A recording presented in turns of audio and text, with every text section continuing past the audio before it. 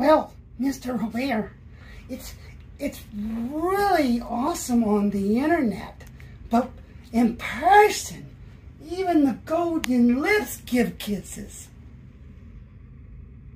So amazing. yeah, he paints them golden kisses by hand, child. yeah. Well, you know, you have the binary code into the embedded into your art. I'm, I'm so happy that you're like not not using that like chat GPT and the DALL-E thing, you know, because it's like it's gonna ruin creativity.